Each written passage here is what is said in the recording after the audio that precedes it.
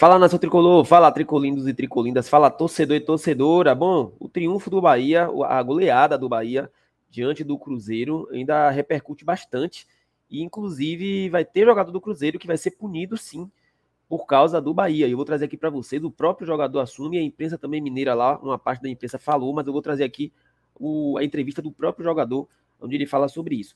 Vou trazer também nesse vídeo de agora a imprensa mineira é, o, o, o, o, radialista, o jornalista mineiro, onde ele desesperadamente ele diz sobre se o Bahia, se o juiz não tivesse acabado o jogo, que o Bahia faria o quinto, sexto e por aí vai. E também o jornalista mineiro elegendo o melhor da partida e só deu Bahia, tá? Vou trazer também nesse vídeo de agora, simplesmente, Everton Ribeiro.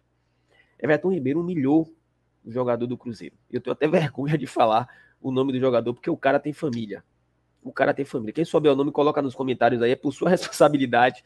Eu me recuso a falar o nome é, do, do marcador que tomou esse drible, porque infelizmente eu fiquei sabendo até que ele foi para o hospital para poder fazer um raio-x da coluna, porque o, o drible foi algo assim humilhante, é vergonhoso, tá? Eu vou colocar aqui, mas assim, foi algo realmente ficou feio demais, cara. Antes de mais nada, sejam todos bem-vindos aqui ao canal, canal Tom Bahia, canal da Nação Tricolor onde você fica sabendo dos assuntos sempre mais relevantes do nosso Bahia. Mas vem cá, você é Bahia? Se você é Bahia, você está no lugar certo. Aqui é seu lugar para ficar por dentro dos melhores conteúdos do nosso tricolor. E se você chegou até aqui, aquele favor, já chega aqui, já deixa o like no vídeo, para que o YouTube entenda que esse conteúdo é de qualidade e distribua para todos os tricolores espalhados por esse mundo afora. Se inscreva no canal se você não for inscrito e ative as notificações, porque todos os dias tem vídeos aqui trazendo sempre as melhores informações do nosso Bahia para você, torcedor tricolor, e para você, torcedora tricolinda. Eu vou começar esse vídeo mostrando logo Everton Ribeiro. Everton Ribeiro, que na minha opinião é o melhor jogador do Bahia. É o melhor jogador. Tem jogadores mais regulares, ok? Mas assim, Everton Ribeiro é craque. É diferenciado. Ele joga no ritmo dele, que não é aquele ritmo alucinante, com a correria de Jean Lucas, de, de do próprio é, é, até Tassiana, aquela intensidade, Ademir, Biel. Ele joga no ritmo dele. Mas é aquela, aquele ditado, né? Quem corre é a bola, não é o craque. E Everton Ribeiro, ele joga muita bola, muito diferenciado. Toda vez que ele sai do time do Bahia, o, o, time sofre, o time sente a saída dele. E graças a Deus que ele é nosso jogador. Então agora eu quero que vocês se deleitem, se deliciem com mais uma de Everton Ribeiro. Olha só o que ele vai fazer com o marcador. Entortado o Everton. Acabou perdendo. Meu Deus. Opa. Ups. Bola entortado do Everton. para na falta. Acabou perdendo. Bola entortado do Everton. Acabou perdendo. Minha Nossa Senhora, velho. O cara até agora corre. Vai ele, coitado, olha. Vai ele. É, vai ele correndo até agora. Pena que o vídeo acabou, que eu queria ver até onde ele tava correndo aqui, ó. Até agora ele vai correndo, coitado. Meu Deus do céu.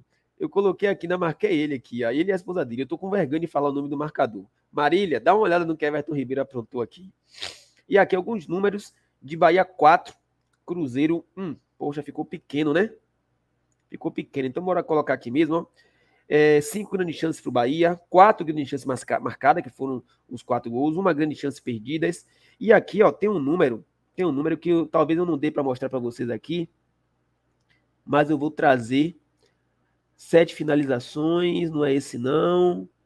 647 passes trocados pelo Bahia contra 379 do Cruzeiro. 647 contra 379, tá? Aí aqui, ó, finalizações dentro da área, 7 do Bahia contra 3 do Cruzeiro, finalizações 14 do Bahia, 7 do Cruzeiro, finalizações na trave, 1 do Bahia. Números aqui da partida, grandes chances, grandes chances perdidas, uma, toque na área de pênalti, 26 do Bahia contra 12, ou seja, vocês observem que o Bahia sempre esteve bem próximo do gol, né?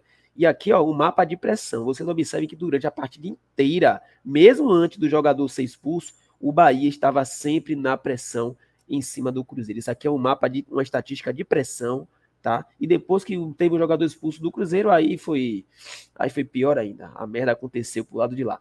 E agora falando sobre expulsão, eu vou trazer para você do jogador que foi expulso e ele vai ser punido, viu? Pelo que tudo indica aqui, o próprio jogador falou sobre isso. Ele vai ser punido, tá aí, Marlon. Bora ouvir. Fala, Marlon.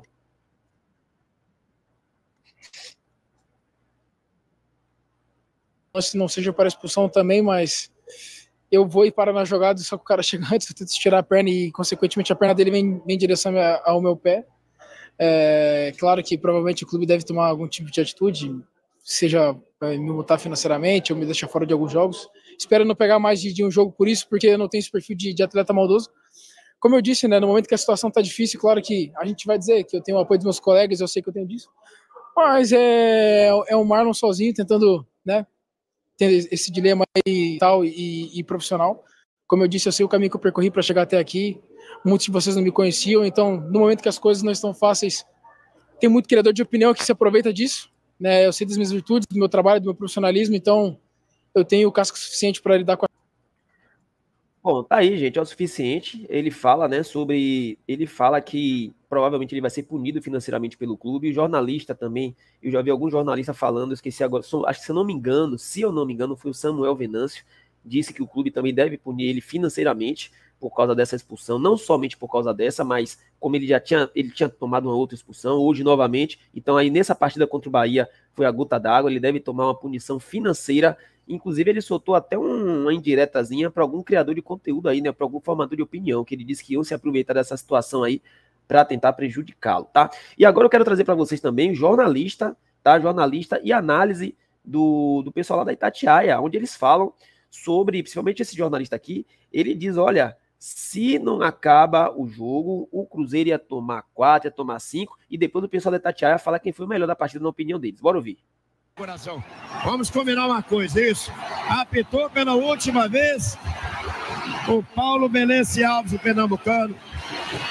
Era para terminar, senão viria o quinto, sexto.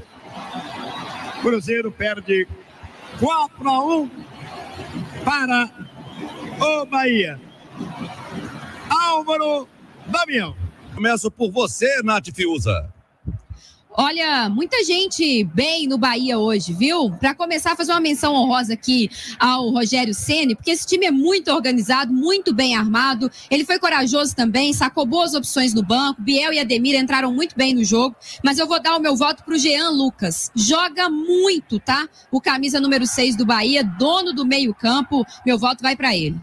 Jean Lucas tem o voto da Nath Fiuza. Quem vota? Pansieri, você, Pansieri. Eu vou nessa também. Jean Lucas e menção honrosa ao Everton Ribeiro, que entrou no segundo tempo. Conhecemos bem, né, ô, ô Damião, como joga bola. Como joga bola. Ô, Rubem Júnior, quem foi o melhor em campo, Rubinho? Everton Ribeiro. Everton Ribeiro, que entrou no intervalo do jogo. O Everton Ribeiro tem o voto do nosso Rubem Júnior. E para você, o Pique, quem foi o melhor em campo, Pique? Não, não, eu vou. Eu gostei muito do Carlos Alexandre, bom volante. Mas eu vou com o Jean Lucas. Jean Lucas, três votos para ele. Eleito então o melhor em campo, Jean Lucas, três votos para ele. Um para o Everton Ribeiro. O Cruzeiro perde no Campeonato Brasileiro. Quatro para o Bahia. Um para a equipe do Cruzeiro.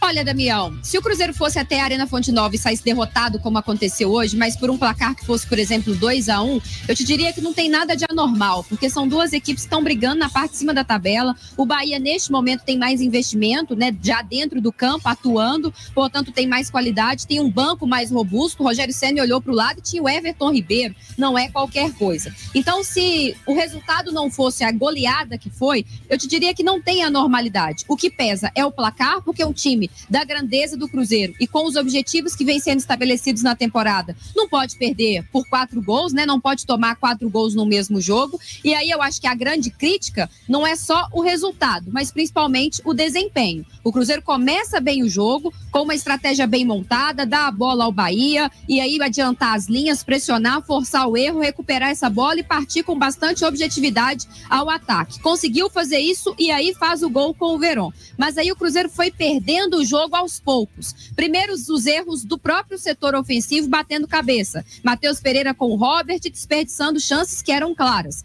Depois, a expulsão completamente infantil do Marlon, que não poderia acontecer no momento em que o jogo ainda era equilibrado, por mais que o Bahia tivesse voltado melhor no segundo tempo. E aí, depois, os espaços e as falhas de marcação que aconteceram, nada que o Fernando Seabra tentou acabou funcionando. A verdade é que o Cruzeiro foi perdendo o jogo aos pouquinhos. E essas falhas que aconteceram hoje não podem se repetir, né, Damião? Não podem. Obrigado, Nath Fiuza. Você continua. Tá aí, galera, para vocês. Tá aí, minha nação tricolor. Eu acho que, assim, na minha opinião, eu, quando cheguei no estádio, o jogo já estava 1 a 0 para o time do Cruzeiro. Não vi essas oportunidades que o Cruzeiro perdeu. E eu vi um Bahia, da hora que eu cheguei, eu vi um Bahia indo para cima, um Bahia controlando o jogo, o Bahia pressionando o Cruzeiro, igual o mapa que eu trouxe para vocês aqui de estatísticas. Eu acho, eu acho, sem clubismo nenhum, sem emoção, eu acho que o Bahia viraria a partida com 11 contra 11. Talvez não terminasse 4 a 1 mas eu acredito que o Bahia viraria, porque o Bahia estava indo para cima, o Bahia estava pressionando o Cruzeiro, Everton Ribeiro entrou muito bem no jogo, o Cruzeiro, a impressão que dava era que o Cruzeiro estava tentando segurar o empate, o Cruzeiro não assustava tanto assim, entendeu? Então, assim, na minha opinião, eu acho que o Bahia viraria a partida mesmo 11 contra 11. O, um, o jogador que foi expulso ali só foi mesmo o, o, o, murro para derrubar o Cruzeiro e o Bahia vencer a partida. É isso, nação. Vou finalizar por aqui. Espero que vocês tenham gostado. Tamo junto. Você é Bahia? Então você está no lugar certo. Fui.